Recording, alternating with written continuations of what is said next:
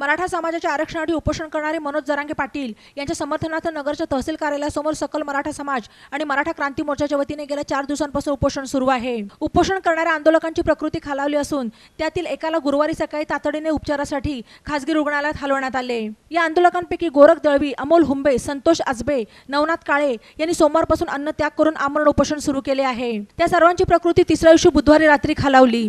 मात्र त्यांच्या जीवितास धोका होऊ नये यासाठी मराठा समाजातील doctor Sachin Pandule doctor Sunil Bothe doctor Avinash More यांनी त्यांची समजूत काढून सलाईन लावण्याची विनंती केली. रात्री उशिराने आंदोलन करताना सलाईन लावण्यात आले. दरम्यान येथील नवनाथ काळे या तरुणाची प्रकृती आज गुरुवारी सकाळी आणखी खालावल्याने त्यांना खासगी रुग्णालयात दाखल करण्यात आले. त्यांची शुगर कमी झाली असून ब्लड प्रेशर वाढले असल्याची माहिती मिळत आहे. याबाबत मराठा आंदोलकांनी सविस्तर माहिती दिली. माझ्या मराठा बांधवांसाठी मनोज जरांगे पाटील उपोषणाला बसले आणि त्यांच्या समर्थनार्थ आम्ही अहमदनगर तहसील कार्यालयाला अमरण उपोषणासाठी आम्ही चार भावंड बसलेलो आहोत. तरी पंचवीस बळी माझ्या मराठा बांधवांचे गेलेत. जर माझ्या जिथे काही तोडफोड झाल्यात तिथे जर सरकार तीनशे सात दाखल करीत असेल तर तुमच्या माध्यमातून मला सरकारला म्हणणं आहे की जे माझे पंचवीस बांधव आत्महत्या केल्यात त्यांना जबाबदार कोण? जर त्यांना जबाबदार तुम्ही जर नसताल तर तसंही आम्हाला सांगा. कारण त्याला जबाबदार तुम्ही जर आम्हाला आरक्षण दिलं असतं तर आमचे पंचवीस बांधव आज बळी गेला नसता. आणि जर त्यांचा बळी गेला तर त्यांच्या तीनशे दोनचे कलम नेमकं आम्ही कोणावर नोंदायचे? सरकारवर नोंदायचे? की याच्या मागं कोण नेमकं कशा कशासाठी आम्ही हे करायचं? आज या ठिकाणी तहसील ऑफिसला जे महाराष्ट्रभर मराठा समाजाच्या आरक्षणाविषयी आंदोलन चालू आहे आंतरवली सराठीला. माननीय मनोज पाटील जरांगे यांच्या नेतृत्वाखाली. त्याला आंदोलनाला पाठिंबा म्हणून तहसील ऑफिसला या ठिकाणी अमोल भाऊ असतील गोरखभाऊ येतं नवनाथ काळे येतं अजय पाटील येतं अशी असंख्य तरुण मंडळी येतं. यांनी आंदोलन पाठिंबा म्हणून चालू केलेलं आहे. आणि तीव्र स्वरूपाचं आणि चांगलं उत्स्फूर्त असा प्रतिसाद या ठिकाणी आंदोलनाला मिळत आहे. असं पाहिलं गेलं तर आठ दिवस झाले सात दिवस झाले मराठा आंदोलना हे चालू आहे जारांगे पाटलांचं. आणि पाण्याशिवाय त्यांचं आंदोलन चालू आहे तरीसुद्धा शासनाला त्या ठिकाणी जाग येत नाही आहे आणि मराठा आंदोलन देण्यासाठी उशीर होतो आहे मराठा समाजाची मागणी आहे की त्यांच्या मुलांचं जे भविष्य आहे ते घडवण्यासाठी ती मागणी आहे. कोणत्याही समाजाला विरोध न करता हे मराठा समाजाला हे आरक्षण पाहिजे आणि त्यासाठी या ठिकाणी सर्व आंदोलक बसलेले आहेत. एक आमचे सहकारी आहेत नवना भाऊ काळे. ते सुद्धा त्या ठिकाणी त्यांची शुगर ही कमी झाल्यामुळं त्यांना हॉस्पिटलला आता ॲडमिट केलेलं आहे.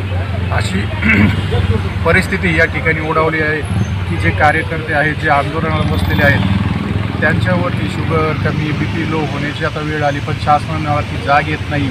आणि जारंगे पाटलांचं आपण पाहिलं तर त्यांचंसुद्धा शुगर बी पी कमी होऊन त्यांना खूप त्रास होतो आहे परंतु शासन काय त्याच्यावर लवकरात निर्णय घेत नाही आहे शासनाने ही सर्व मराठी समाजाची बांधवांची जी भावना आहे ती ओळखून त्यांना लवकरात लवकर आरक्षण द्यावं अशीच आमची या ठिकाणी मागणी आहे. पण आज जर सरकारने असं केलं नाही ते आणखी आंदोलन तीव्र होत चलन व मराठा समाजाचा उद्रेक होईल. तरी शासनाने सर्व त्यामध्ये म मंडळी आहेत की जास्तीत जास्त मराठा समाजाचे आहेत यांनी सर्वांनी त्या ठिकाणी निर्णय घेऊन मराठा समाजाला लवकरात लवकर आरक्षण द्यावं अशी आमची मागणी आहे. जय जिजाऊ.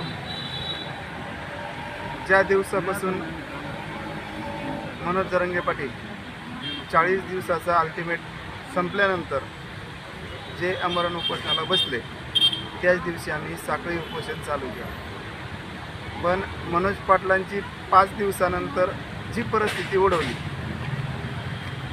अन्न पाणी लोकांचं रडणं ते परिस्थिती पाहून आमच्या विमानात मनात खंत व्यक्त करताना सगळ्यांचा विचार असा झाला का आपण सुद्धा अन्नत्याग करायला पाहिजे.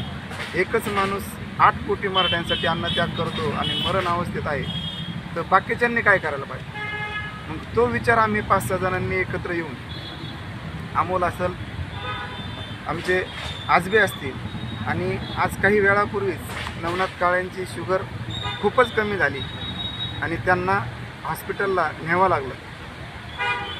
एवढी परिस्थिती खराब असताना वाईट असताना द्रावक असताना सुद्धा. हे आजचं गेंड्याच्या कातडीचं सर सरकार जे आहे फक्त एकमेकावर लोटायचा प्रयत्न करत आहे आणि आरक्षण मात्र मार्गी लावण्याचं त्यांचं कोणताही विषय दिसत नाही. प्रत्येकाने खोटंच बोलायचं ठरवलं काल पण यांनी सर्वपक्षीय बैठक बोलवली. फक्त मराठ्यांना आरक्षण देणार या नावाखाली किंवा त्यांना कसं देता येईल? पण तसं काहीही नव्हतं. यांना फक्त यांचे घरं आणि यांचे मुलंच स्वीकार करायचे होते. या माध्यमातून त्यांनी फक्त त्यांचा कायदा सुव्यवस्था राखण्याचा ठराव पायी पारित करून घेतला. आणि जे लोक उद्या गुण म्हणजे पुढं आंदोलन करतील पुढं जाळपोळ करतील त्यांच्यावर कसे तीनशे सातशे गुन्हे दाखल करता येईल? याच्यावरच यांचा विचारविनिमय झाला आणि कालचा तो ठराव पारित करून घ्या. बातम्यांसाठी ई नवा यूट्यूब चॅनलला सबस्क्राईब करा आणि बेल आयकॉनवर प्रेस करा.